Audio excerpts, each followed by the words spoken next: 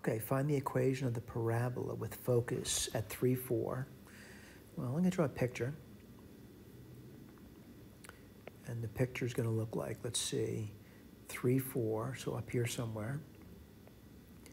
And the directrix is the y-axis. So this is directrix over here. Now, what does that mean? It means I have the, um, um, I have a vertex here.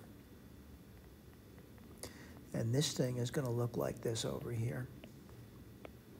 Again, this is the point 3, 4. This is x equals 0.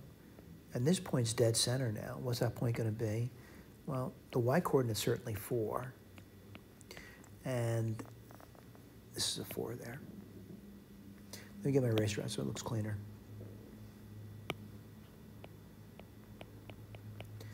And that vertex is the dead center between 0 and 3, which is 3 halves. All right, let's take a look at it. And before I do that, I want to write down um, the p. What's p going to be? It'll going to be 3 halves. All right, let's write it down. What do you get? Let's take a look. y minus 4 squared equals 4 times p. Well, the p is 3 halves.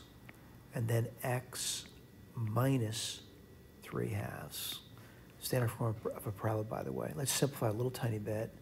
y minus 4 squared. Uh, 2 goes to 4 twice, so 6. x minus 3 halves. By the way, as far as I'm concerned, that's a good answer there. I'm going to go a little bit further than that. It's going to be y squared minus 8y plus 16, 6x, and that's going to give you minus 9. So if you want to, you can write down as y squared uh, minus 8x. Uh, let's take a look at that. I'm going to add 9 to both sides, so plus 25 equals 6x. All right, let's get a red pen out, see how we did. Uh, again, uh, my claim is we should be seeing, um, sorry about that, we should be seeing this somewhere, and I am, it's right over here. And we should be seeing a simplified form of it, and we're seeing that right over here. Thank you.